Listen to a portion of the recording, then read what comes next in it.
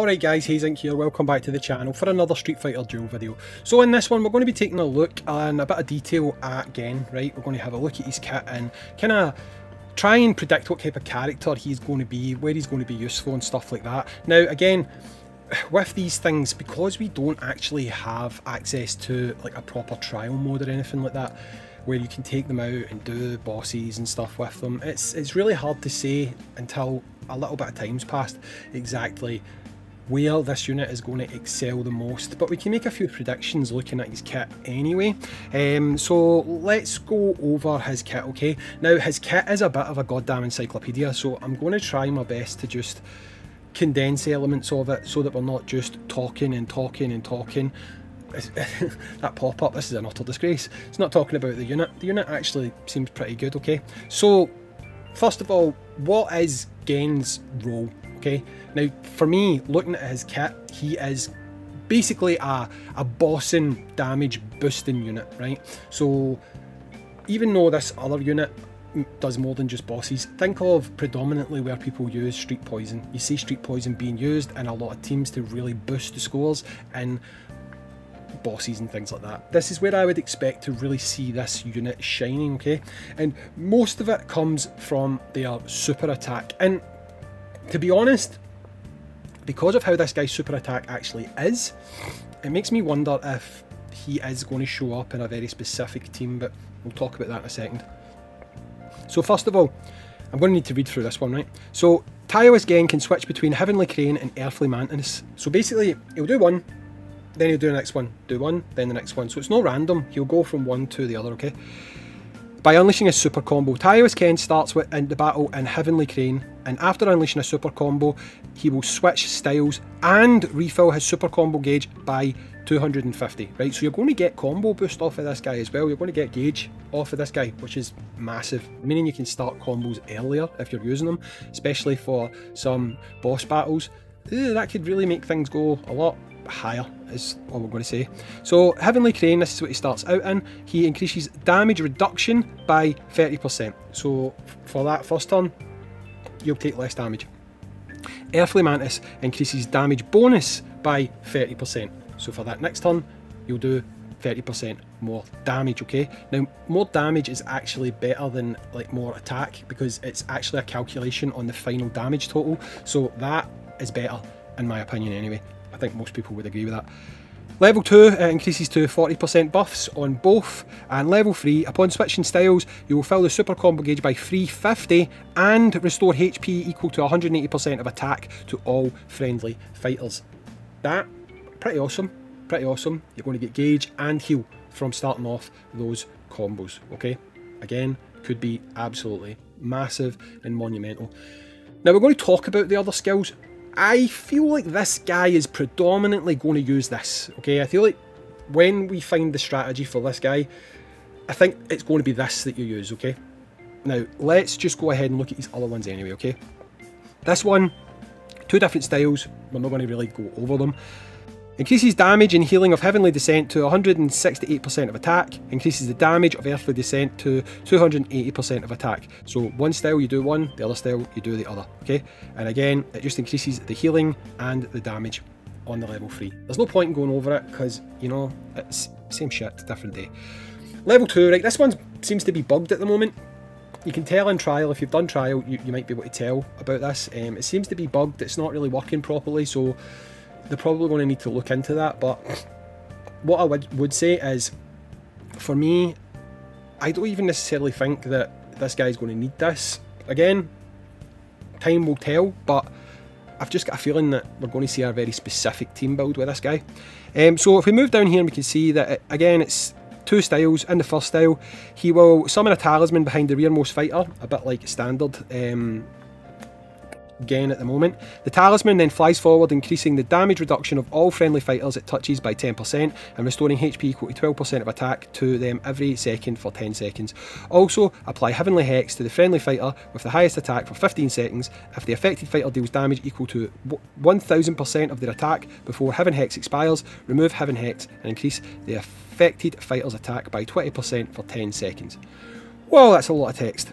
When in Earthly Mantis style, unleash Earthly Curse to deal damage equal to 576% of attack to the enemy with the highest attack, and inflict Earth Hex on the target for 15 seconds. Earth Hex reduces the target's attack by 15% and is removed when the target has had 1000% of their attack or whatever, right? See here it's increased by 25% and 20% and at the bottom damage reduction 20%, right? Again, don't care, don't think it's going to be used all that often. Passive, oh Jesus Christ. So, like, so they can switch between modes. Heavenly Aura increases the damage reduction of other fighters by 20%, and uh, as we know, and Earthly Aura damage bonus 20%, right? Now, this actually goes up, right? So if we see it here, while Heavenly Aura is active, and not change, sorry, adds more, add 10% lifesteal. When Earthly Aura is active, increase the crit rate by 10%. When Taoist Gen takes fatal damage for the first time, shatter his aura to negate that instance of damage and produce an effect dependent on the type of aura shattered. Unleash the super combo again to restore the aura. Restore HP equal to 420% of attack, if and you're in Heavenly Aura that is, to friendly fighters in an area, and increase lifesteal rate of all friendly fighters by 20% until the end of battle. So it quite clearly states there, clear restore HP in an area, but increase lifesteal rate of all, right? So two different effects basically. Earthly Aura, deal damage equal to 420% of attack to all enemies in an area and increase the crit rate of all friendly fighters by 20% until the end of battle. And finally, when it's maxed, the full battlefield. You don't have that in an area anymore. You've got that, it's the entire battlefield. So no more restrictions of small area of attacks, right? So that's pretty big, right? Now, before we go ahead and talk about where I think this unit's probably going to get used, okay? But we need to see if it'll actually work first, but I think it will. We'll look at their garage and then we'll look at their fighting spirit and then we'll talk about where I see this unit predominantly probably being used, okay? But I just need to test one thing before we do that and then that way we'll know for sure if it's going to be viable or not, right? So, with his cars, upon switching to Heavenly Aura, increase the healing received by 35% for 15 seconds, so you'll heal them for 150% of attack.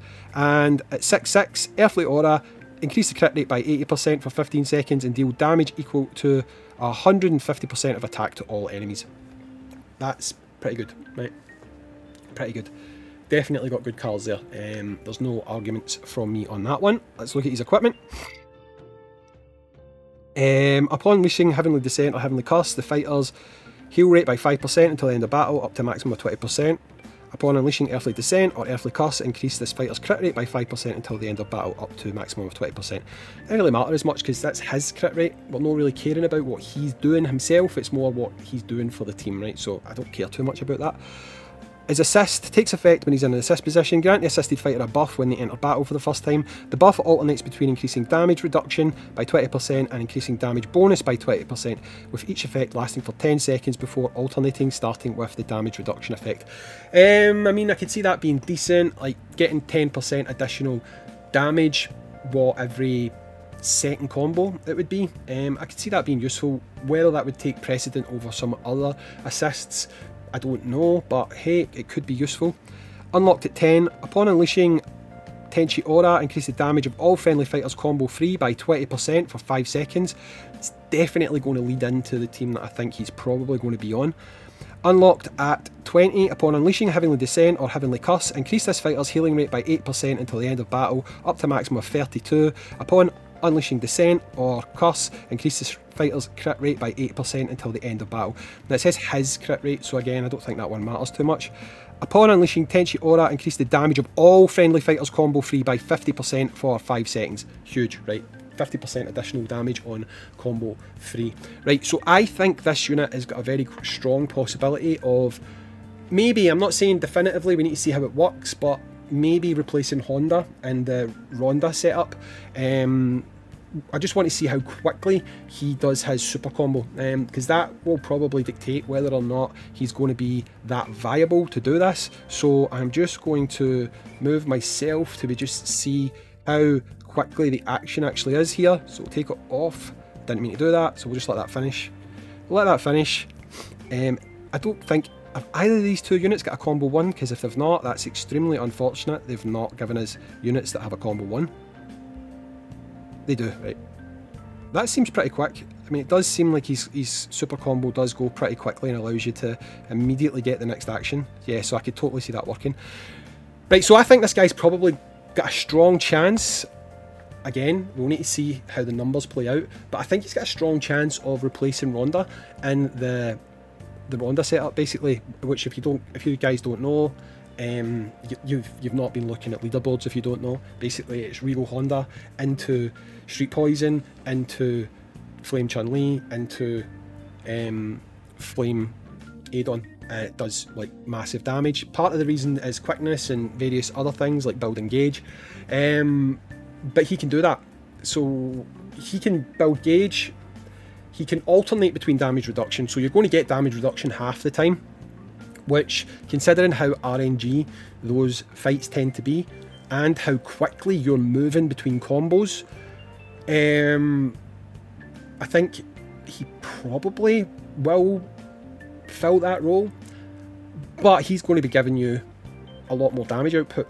A lot more damage output, especially if you've gotten built to his Fighting Spirit 30. Unlike Honda, who is actually detrimental to you if you've gotten built to Fighting Spirit 30, this guy is going to increase the damage of your combo 3 by an additional 50%. Now remember, he's already going to be doing additional damage every second turn. He's going to be giving you that additional damage boost every like second turn because it's going to alternate between damage reduction, damage boost, damage reduction, damage boost.